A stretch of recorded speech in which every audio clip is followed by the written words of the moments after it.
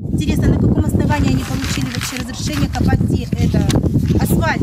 горький көшесі тұрғындарының көбі аумаққа көп қабатты жаңа үйлер салынады деген соң жергілікті билік талабы бойынша баспаналарын тастап көшіп кеткен бірақ мүгедек баласы бар әсем ғалымжанова әкімдік ұсынған пәтер өмір сүруге қолайсыз екенін айтады Мне сказали, что снос будет.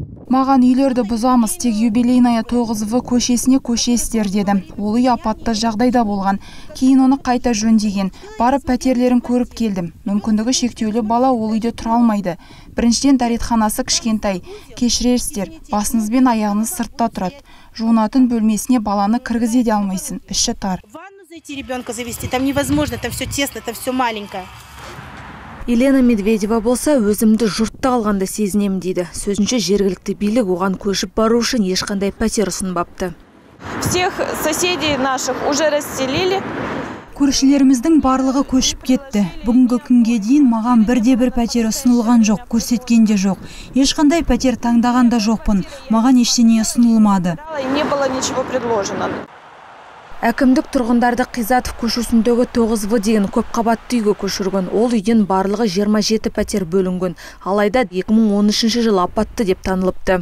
Значит, на протяжении ряда лет вопрос біраз уақыт ол үйдің апатты екені туралы ақпарат тарап жүрді. Бір емес бірнеше экспертиза жасалып құрылыс саласы бойынша жоғары санатты мамандар жұмылдырылып осы мәселемен айналысты. Кейін үйдің апатты жағдайда емес екені туралы шешім шықты. Белгілі бір ақаулар бар еді. Оларды дұрыстау керек болды. Жергілікті әкімдік бюджеттен қаражат бөліп кемшіліктің орнын толтырдық.